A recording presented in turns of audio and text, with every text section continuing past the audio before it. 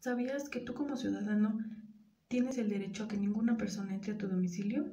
Bueno, si no lo sabías, ahora ya lo sabes. Y por eso quiero comenzar hablando sobre el tema del principio de la inviolabilidad del domicilio en materia penal. Es por ello que comenzaré explicando que este principio es fundamental y es un derecho que todas las personas como ciudadanos tenemos. En este caso, em, se habla que este principio es básicamente que ninguna persona puede entrar a tu domicilio sin tener una orden judicial emitida por un juez. En este caso, mm, también este principio nos habla que es un derecho fundamental que permite pues básicamente que nadie pueda entrar o registrar tu domicilio sin tu consentimiento o sin tener una orden judicial. Es por ello que yo les voy a hablar que existen diversos artículos que lo regulan y que a su vez em, pues con ellos te puedes amparar. En este caso eh, existe lo que es el derecho a la privacidad e intimidad y que está protegido por el artículo 16 constitucional. Este nos habla que nadie puede ser molestado en su persona, familia, en su domicilio, así también en sus papeles o en sus posesiones. Esto básicamente dice que solo puede ser molestado en virtud de que se tenga por escrito una orden emitida por lo que es la autoridad competente y esto a su vez que esté fundada y motivada sobre ese procedimiento que van a realizar o esa investigación. Y para que se comprenda mejor pues este tema del principio de la inviolabilidad del domicilio en materia penal, lo voy a referir a que sobre esta materia penal tengo un ejemplo claro y que es muy sencillo de entender ya que es la orden de cateo. Esta orden de cateo está estipulada en el Código Nacional de Procedimientos Penales en su artículo 284, en el cual nos menciona que esta es una solicitud que se hace mientras es, cuando se hace la investigación por medio del Ministerio Público y cuando éste estime que es necesaria para, pues básicamente, mm, practicar ese cateo y lo hace a lo solicita al juez de, de, control, en este caso, eh, pues a razón de que existe o se tiene pues indicios de que se debe de inspeccionar un lugar a causa o un domicilio o una propiedad privada a causa de que se sabe que en ese lugar se, se está cometiendo un hecho delictivo o una conducta que puede ser pues, un delito. En este caso se solicita por cualquier medio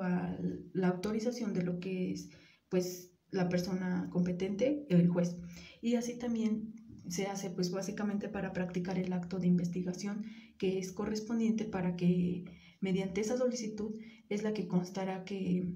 que sí se puede realizar y pueden entrar al domicilio. Así también eh, se hace un registro de esto en donde se expresa el lugar en donde se va a realizar esa ese cateo, em, también así las personas a las que se van a aprender, eh, los hechos por los cuales se presentan ahí, qué es lo que busca, eh, se señala pues básicamente los motivos o los indicios por los que se sustenta esa necesidad de que se genere esa orden. Así también tienen que estipular quiénes son los servidores públicos que van a practicar ese cateo y quiénes son los que intervendrán en dicho acto de investigación. Esto es muy claro ¿por porque se ve previsto que mediante esta orden judicial van a poder ingresar eh, pues, las autoridades a un domicilio para investigar o revisar sobre el, el, hecho que se está cometiendo, que puede ser un, un delito. En este caso, el juez lo, lo revisa, tiene que ordenarla, porque básicamente eh, debe de, fundamentar, estar fundado y motivado de que tiene el, deber de, de emitir esa orden para que se pueda contrarrestar esos hechos delictivos que se cometen. Y esto es básicamente lo que contempla el principio de inviolabilidad del domicilio en materia penal. Pero no se queda hasta ahí, sino que también a mi considerar existen ciertas excepciones. Otro tema del cual yo les quería hablar y les voy a hablar es sobre el artículo 290 del Código Nacional de Procedimientos Penales, el cual estipula el ingreso de una autoridad a lo que es un lugar o un domicilio sin que tenga una autorización judicial. ¿Y por qué este tema es, lo considero una excepción? Bueno, porque son momentos en los que va a poder entrar la autoridad a un domicilio sin tener una, una orden en donde diga eh, que es emitida por el juez y que puedan entrar a, a, ese domicilio. Existen dos tipos de supuestos y estos son los supuestos que se justifican y que justifican el ingreso a lo que es el lugar cerrado, el lugar privado, sin que tengan una orden judicial. La primera es que se considera necesario ese ingreso al lugar cerrado porque existe pues una agresión ya sea real, ya sea actual o inminente. Así también está sin derecho que se ponga en riesgo la vida, pero se comete en realidad también afectar algunas la integridad o la libertad personal de una o más personas. En este caso también nos establece otra pues otro tipo de hipótesis que es cuando se realiza el ingreso con el consentimiento de la persona que pues básicamente vive en ese domicilio o que es dueño de ese domicilio y es esta persona la que otorga ese permiso. Básicamente en esta segunda hipótesis nos habla que la autoridad que practica esta diligencia debe de, de notificarle al órgano jurisdiccional a los cinco días siguientes de que se realizó o se practicó esa diligencia, esa investigación o esa entrada a lo que fue el domicilio sin previa autorización. Eh, así también en la audiencia que se, se, hace para ratificar este hecho o esta entrada a, lo que es el domicilio sin autorización, se debe de, de, presentar lo que es la persona que dio eh, o que otorgó ese, ese permiso para que pudieran entrar, que es básicamente la, la persona que vive en ese domicilio, para que pueda ratificar esos hechos.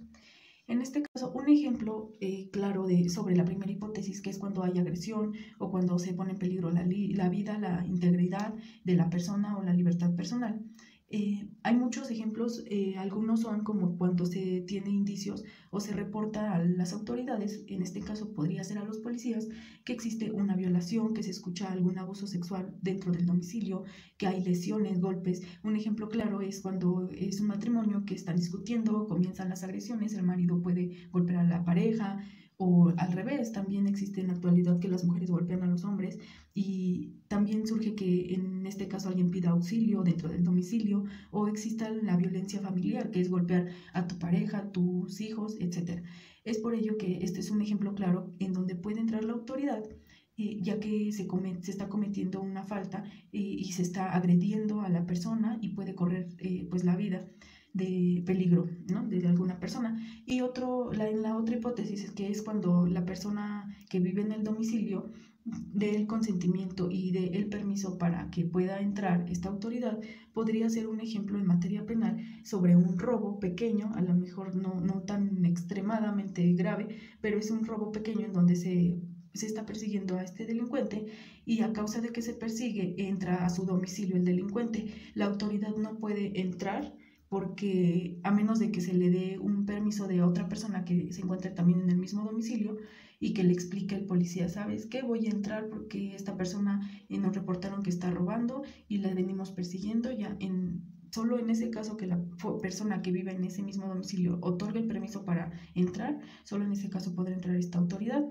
Y si no se lo otorgan y esta, esta autoridad entra uh, con una agresión o entra en por querer, solo porque es autoridad y considera que es, tiene ese poder, se le consideraría y se le notificaría como una persona que es la y el imputado, ya que está cometiendo un delito de allanamiento de morada en caso de que pues se meta al, al domicilio del propietario de pues este, este lugar. Es así que como conclusiones personales, pues yo considero que este principio de inviolabilidad del domicilio en materia penal es fundamental que todos conozcamos porque llega un punto en el que las personas en la actualidad no sabemos si pueden o no entrar las autoridades a nuestro domicilio y en qué momento. Y tampoco sabemos o estamos muy inconscientes en, en poder investigar, en preguntar. No lo sabemos hasta que ya lo vemos en, la, pues en, en ese momento y es fundamental comprenderlo y entenderlo para que las personas tengan ese conocimiento de que existe el derecho de que puede entrar una autoridad, pero solo con una autorización, y puede entrar también esta autoridad sin autorización, pero solo que se corra peligro de la vida, eh, también así que pueda existir una balacera y que la persona, el delincuente eh, o la balacera esté dentro de un domicilio, es solo cuando puede entrar la, la autoridad para que no se siga cometiendo ese delito y, y como este está afectando la, la vida, eh, puede entrar, que las personas tengan ese conocimiento de que tienen ese derecho y también pueden exigir que se les haga justicia.